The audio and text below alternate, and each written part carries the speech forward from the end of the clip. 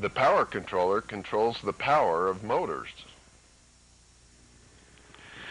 To demonstrate the power controller, what we will do is we have a blower motor here. That's a little blower and the motor to the left of it is just sucking air in and out the other side. So this is just designed to blow air. When we turn it on, you'll see the amount of power that's being consumed in this motor and you can as you can see it is definitely blowing air. So it is functioning now. The motor to the left of the blower is taking power from the wall far more than it really needs. And if you look, there's a uh, the voltage is 119 volts.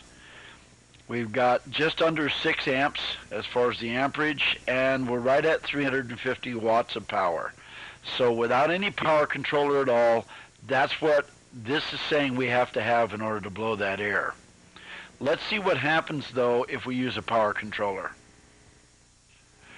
The power controller is in the upper left-hand side uh, of the motor operation, and it's shedding power. You can see it doing the function right now. It's lowering the volts, the amps, and the watts, and it forces the motor to use no more power than it needs to do the exact same job. The real power needed to do the job is 75 volts. You see there, it's about 75 volts we're using about three and three quarters amps. If you look there, it's under four.